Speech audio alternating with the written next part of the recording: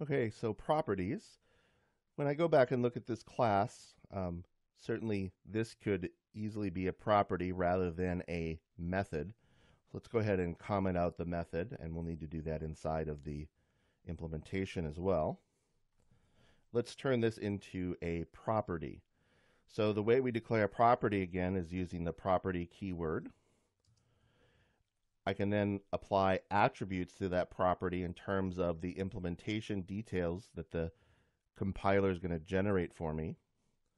So I'm going to go ahead and say non-atomic, and I'm going to say uh, weak. I don't necessarily want it to hold on to a reference, and I'll say UI color star the color. Now in Xcode,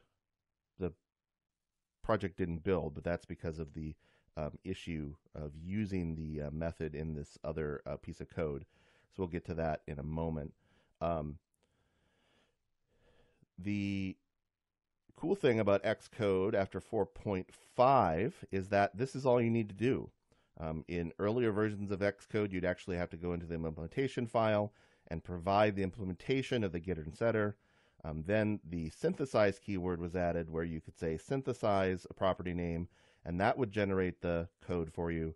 Um, that's all we need to do. All we need to do is go into the header file, declare the property, and then we're done. Unless you want to implement the getter and setter yourself, which you certainly can. Now, the reason that this is not compiling, again, is if I go into the app delegate, this is no longer um, semantically correct because the interface no longer exposes a method called getTheColor. What it exposes now is a property. So now I can say my color dot the color. Okay.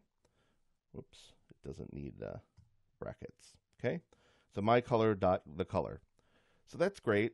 Now remember, this is syntactic sugar on top of the actual methods. So if I wanted to, instead of saying this, I could say my color